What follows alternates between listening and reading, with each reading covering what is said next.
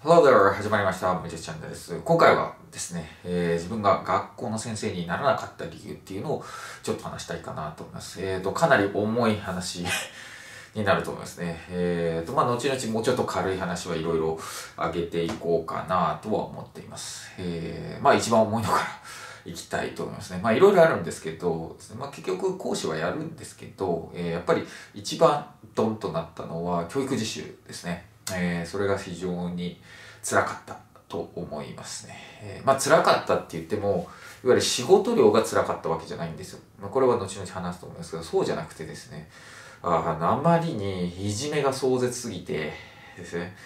これは自分では耐えられないなと思ったんですよ。で、そのいじめが壮絶で、それをですね、なんとかできたらいいんですけど、何もできないっていうのが一番辛かったんですよ。それが理由で、えー結局ですね、やっぱり学校の先生にはなれないな。学校の先生なんか、なんかとか言っちゃいけないですけど、学校の先生、やっぱ信じられない人がちょっと多いなっていうふうになったんですよ。で、えっと、自分の学校っていうのは、まあ、じその教育実習したとこっていうのは、ね、自分が行った時からまあ荒れてるわけですよ。公立の学校、結構ですね、やっぱこの、自分の周りですね、学歴がやっぱ高い人が多くて、私立の人が多いんですけど、教える、そうですね、自分が教えてる相手も私立とか公立でもすごくいいところですね、賢いところの人が多いんですけど、えーやっぱりそこまで、なんていうか賢くもなんともない公立なので、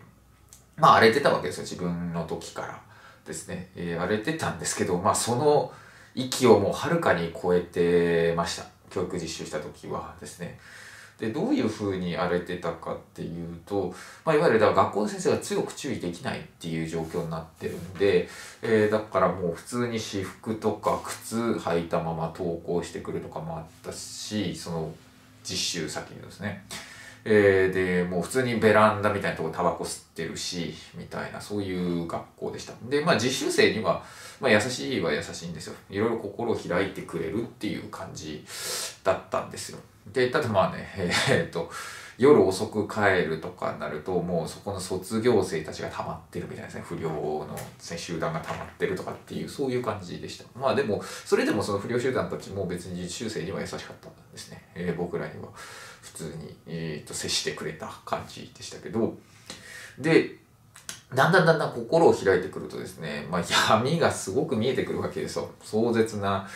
いじめがですね、あるわけです。で、多分皆さんの想像するいじめよりはるかに上ですね。えー、と、でまあ簡単に言うと、女の子がいじめられてて、ですね。まあだから女の子、中学生の女の子です。がいじめられてて、で、まあ、すごいお金を要求されるわけですよ。で、まあ分かりますね。その中学生が莫大なお金を稼ぐって言ったら、まあそういう方法ですよ。で、そうやってお金を稼いでて、えで、それをこう巻き上げられるわけですね。で、巻き上げられて、で、何のために巻き上げられるかって言ったら、その友達の輪にいるためなんですよ。そんなものだけのためにですね、えー中学生がそんなことするんだみたいな感じで、で、いや、これまずいでしょっていうことですね。まあ自分自身思って、えー、で、話を聞くと、いや、担任の先生も知ってるって言うんですよ。知ってるんですよ。意味が分かんなかったわけですよ。で、そういうのを聞いて、で、担任の先生が何もしないんだったらって思って、えー自分の担当の先生に言ったわけですよ。自分がこの、何ですか、担任してるというか、えーとこの、あるわけですね。ホームルーム担当するんですね。のやってるで、そこの先生、すごい熱い先生だったんで、なんとかしてくれるかなと思って話したんですけども、話すまでにまずこっちは、ま大学生ですし、葛藤がすごいあるわけですね。言うべきなのか言わないべきなのかとかですね。だって、その子の担任は知ってるわけだから、えーと、それなのに他の学年の全然教科も違う、部活も全然違う先生にそんな風に言うべきなのかもわかんなかったですけど、やっぱ悩んだ挙句、やっぱ言うしかないだろうなと思って、結構遅い時間で職員室にあんまり人がいない時にですね、そのことを話したんですよ。そしたら、ですね、あの調査しなきゃいけないからっていうので断られたんですよね。なんていうか何もなかったことになったんですよ。うんね、この今の段階ではいい何とも言えないものなのでみたいな感じでもみ消されちゃったんですよ。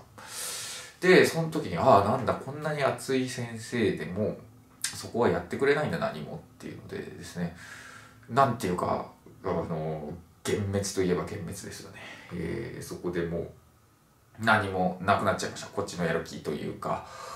ああもうこんなもんなんだなと思って、えー、教員ってそんなもんかっていう感じで、えー、もうやめちゃいましたね、えーと、学校の先生になるっていう選択肢は完全になくなったっていう感じですね。